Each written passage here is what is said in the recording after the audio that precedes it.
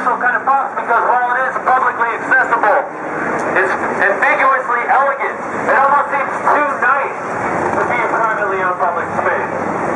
So as we pass through this box, I suggest that we all respect the intimacy of the first section that we'll be walking through until we collect in the center. When we collect in the center with the white marble arcade. Nesson will tell us about how it all began.